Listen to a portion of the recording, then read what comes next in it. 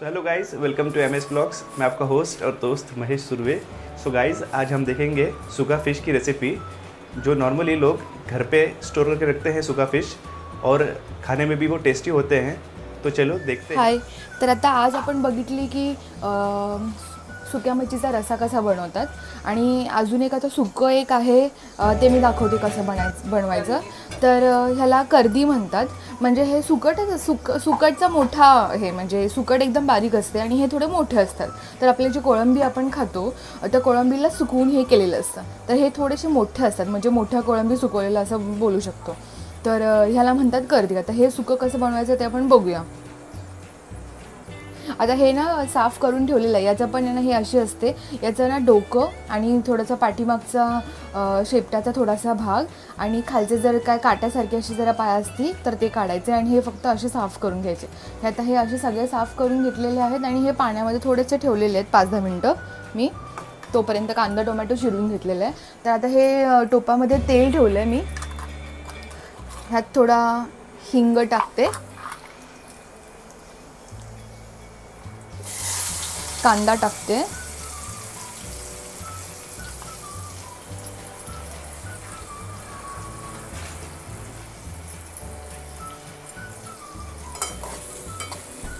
Gas fast करते.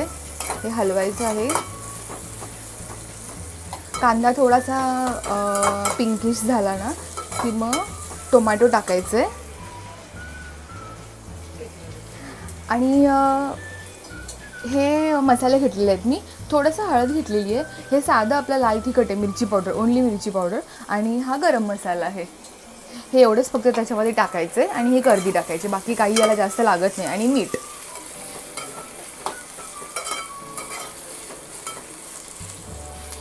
तर आता हा कांदा थोडासा बघा पिंकिश ब्राऊन थोडा झालेला आहे.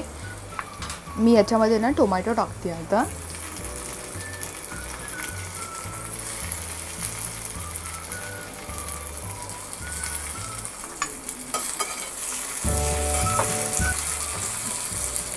हे हलवून घेतलं.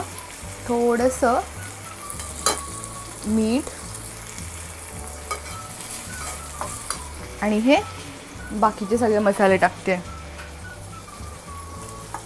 हळद आणि हे सगळं एकत्र टाकलं तरी चालेल.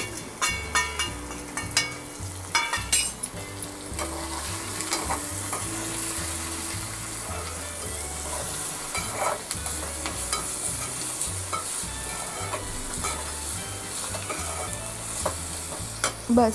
आणि हे ना थोडी कैरी आहे अशीच घरी मी असंच लोणचं करायला कै कैरी घेतली होती.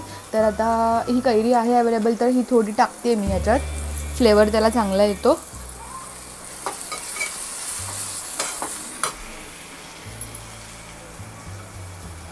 आपण जे भिजवून ठेवलं होतं सुकी मच्छी ते ह्यात टाकते. चांगलं हलवून घ्यायचं आहे फक्त आपल्याला आणि थोडंसं पाणी ओतायचं.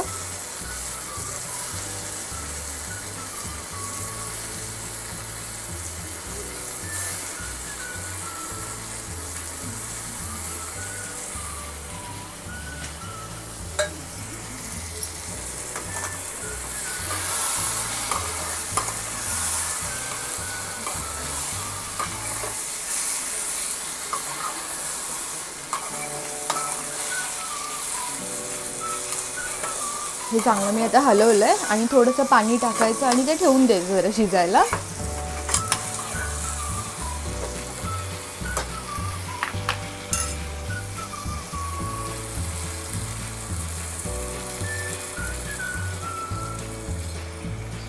एकदमही सुकं नाही केलं थोडंसं त्यात पाणी ठेवलं एकदम थोडंसं असं तरी ते आता हे सगळं झालेलं आहे पाणी पण मी ओतलेलं आहे. आता फक्त त्याच्यावरती मी प्लेटमध्ये थोडंसं पाणी ठेवते. आणि त्याला थोडंसं मध्यम गॅसवरती ठेवून शिजू देते. तर आता ही कर्दी आहे ना शिजलेली आहे. मला वाटतं आपण दहा मिनटं ठेवलेलं आहे हे गॅसवरती. आणि वरती आपण प्लेटमध्ये पाणी ठेवलं होतं. मग वरतून पण ते पाण्याची वाफ लागते.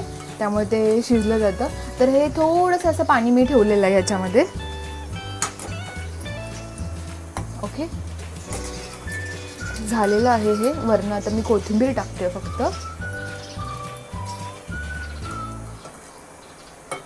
झालेली आहे आणि हे तुम्ही प्लीज नक्की करून पहा. हे पण खूप खूप सुंदर लागतं. आणि तुमचे व्ह्यूज मला नक्की कळवा. आमच्या चॅनलला प्लीज लाईक करा आणि नक्की सबस्क्राईब करा फॉर न्यू व्हिडिओज.